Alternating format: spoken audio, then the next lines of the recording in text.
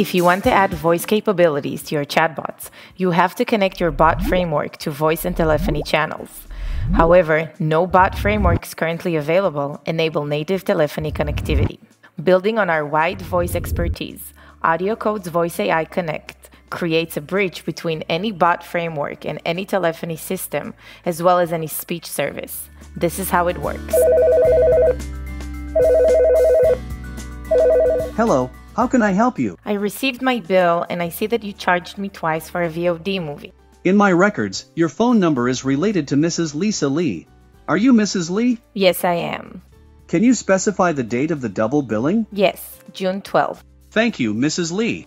I'm transferring you to a human agent to sort out your complaint.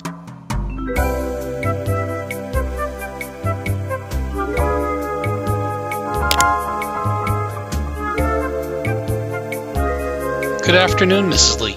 I understand that you called us because you were billed twice on June 12th for the Wonder Woman movie. Yes.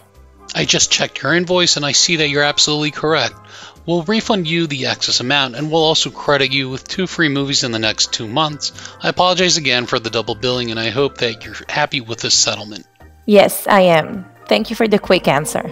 Have a nice day, Mrs. Lee.